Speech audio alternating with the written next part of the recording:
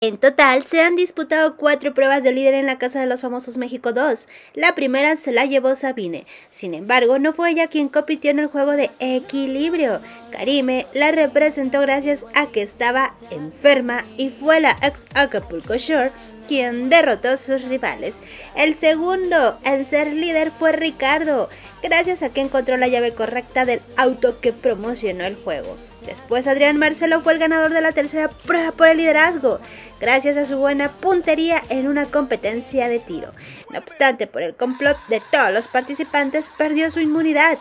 Cian y Sabine son los habitantes que ganaron la competencia más reciente, la cual fue por equipos, aunque solo Cian gozó de la inmunidad que se le otorga al privilegiado semanal. Y es que cada día de la semana hay un juego diferente en la casa de los famosos. Y este lunes se jugó la prueba del líder, la cual tuvo como finalista Gomita Aran, Aratsian y Karime.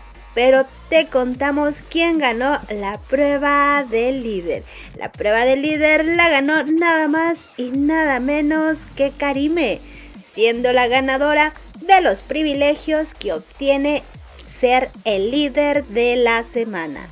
Y es que ya les tocaba, se menciona en redes. Y por fin, ella, siendo del Team Mar, quedó como líder de la semana. No cabe duda que la Casa de los Famosos México sabe generar expectativas en todos sus fans.